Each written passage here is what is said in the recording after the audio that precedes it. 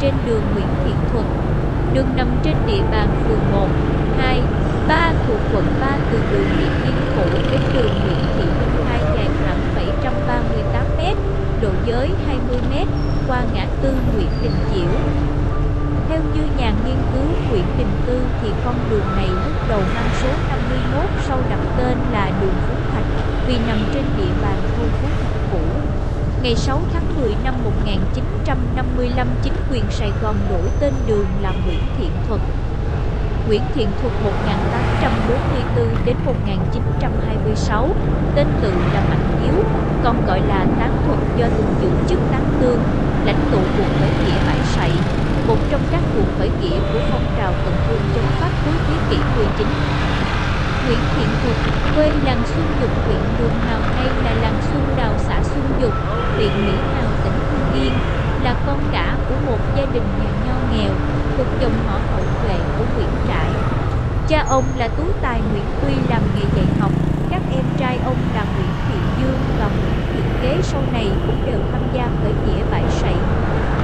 Năm 1874, khi đã đổ tú tài, ông được cử làm ban viện do có công đánh giặc ở Kinh Môn tỉnh Hải Dương.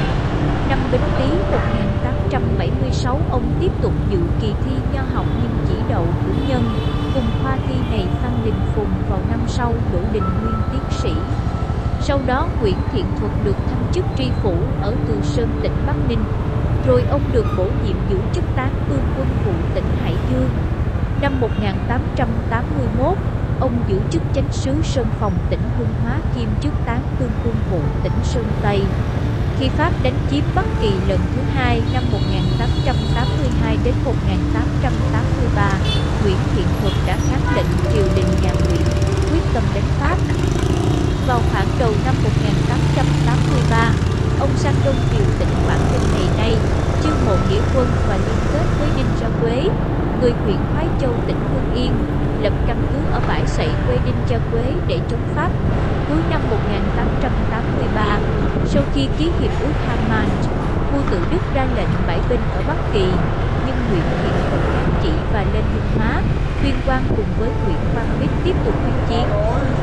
Năm 1884, thành Hưng Hóa thất thủ, ông tiếp tục rút lên thành Lạng Sơn phối hợp với Xuân Hoai cùng phủ Lạng Bình Lạng Sơn, cao bằng kháng Pháp cho tới khi thành này thiết thủ năm 1885 thì trốn sang Long Châu Trung Quốc. Tháng 7 năm 1885, vua Hàm Nghi hạ chiếu Cần Vương, Nguyễn Thiện Thuật trở về bãi sậy, thay Đinh Gia Quế đã mất, lãnh đạo khởi nghĩa Cần Vương kháng Pháp.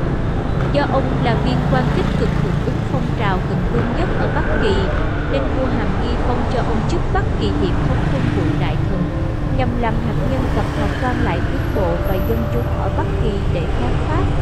Nghĩa quân